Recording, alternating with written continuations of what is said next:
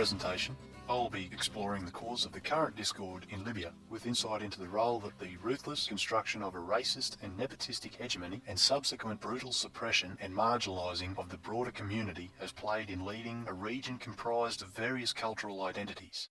Identities which are historically broadly non-assimilative and aggressively autonomous, to a point of assembled unity in resistance to their collective subjugation and subordination. I will make suggestions as to how this event could be transposed into lessons, inviting insightful response and reasoning from students in grades 11 and 12. Also, methods that could be employed to relate events and reactions to the environments that they are explicitly involved in. But most importantly, I will suggest ways to provoke students to examine hypothetical avenues toward achieving harmonious, fair, and sustainable outcomes. In January 2011, we saw conflict in Libya. The unrest, which continues today, arose from the impoverished citizens in response to having suffered under the iron fist of their ruling despot, Muammar Gaddafi. Gaddafi came into power in 1969 after staging a bloodless coup in the company of a group of fellow officers against Libya's first and only monarch, King Idris I. Idris was forced into exile and Gaddafi abolished the existing form of government, emerging quickly as the undisputed leader. This manoeuvre was backed by widespread support at the time from citizens and official recognition by foreign countries, and the officers were viewed as revolutionaries in their bid to emancipate the diasporic Islamic Arabs and consolidate an Islamic Arab state from under Western colonization and declaring the country as a free and sovereign state called the Libyan Arab Republic. By 1976, however, Gaddafi's approval had taken a turn south. He enjoyed the unopposed leadership of Libya due to his propensity to meet any perceived dissidents with utter ruthlessness in deployment of his military. Gaddafi unleashed a reign of terror over his people that would continue for over a decade. Enemies of the revolution were fleshed out by means of extended jail terms, torture, or even death.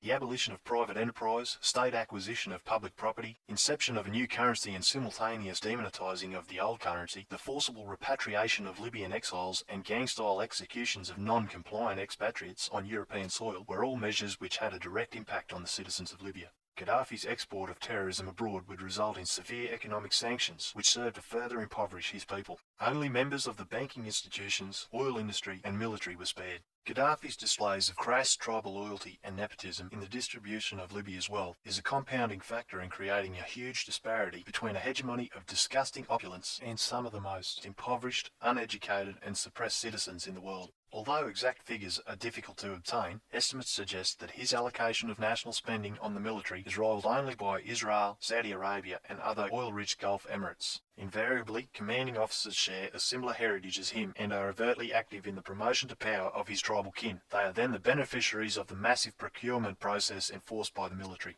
More than four decades of exploitation by the bourgeois class seems to have been the catalyst for the occupants of the marginalised proletariat class to cast aside long held and historically insurpassable perceived differences. Furthermore, a collective identity has been constructed, or more accurately, discovered one acknowledging the connection of poverty, brutal oppression and exploitation, and pure marginality, thus providing a platform of unity transcendent of all prejudice in resistance to the tyrannical ruling class. All these factors would class the current civil unrest as a counter-revolution and has been met with foreign support with the provision of armaments and airstrikes. The rebel forces have achieved much in terms of territory gained against Gaddafi's militia, despite bearing vastly inferior weapons and being poorly trained by comparison to their opponents. However, recently progress has bogged down in a stalemate. There have been reports of members of the resistance targeting citizens, totally unaffiliated with any of Gaddafi's sanctioned cohorts, and subject to the same inequity as themselves, and even part of the very same movement, until being ostracised based solely on sharing a heritage with Gaddafi's tribal allegiance. Also, elements have hijacked the protests, motivating their own agendas against any black African person with accusations that they are Gaddafi's militia. This event is very complex, and I would suggest that a beneficial approach to learning from it would be to develop an expansive program incorporated into multiple senior high school subject classes and organised into a theme block across the entire grade, or perhaps even two grades which would offer the students the opportunity to follow up their exploration 12 months after the first program, stimulating reflection and study of any predictions or analysis which may have eventuated from the previous year. I see this event as a valuable and viable focus for a multitude of classes, including drama, English, SOS, geography, history, economics, and biology,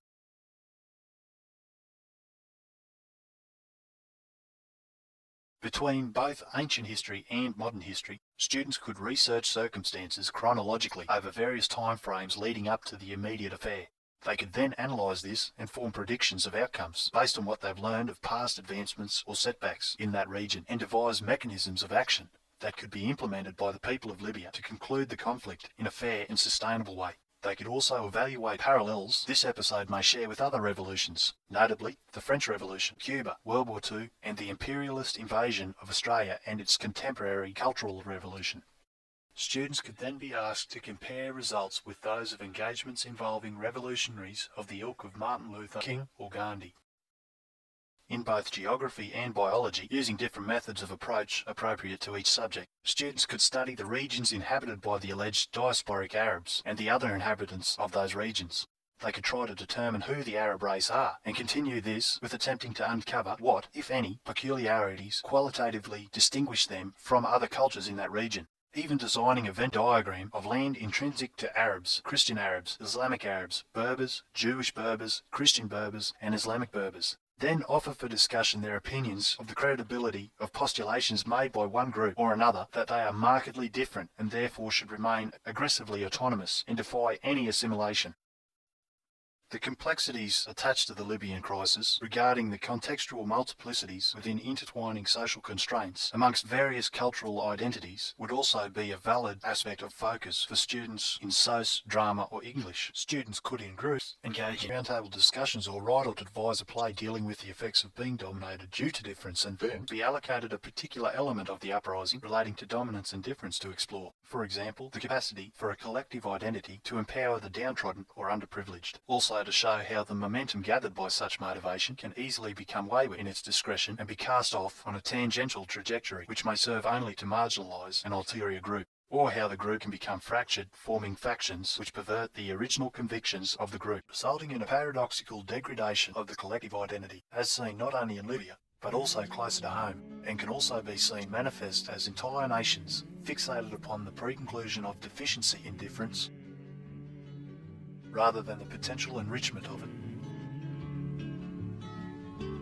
Let me be a little kinder, let me be a little blinder to the faults of those about me. Let me praise a little more.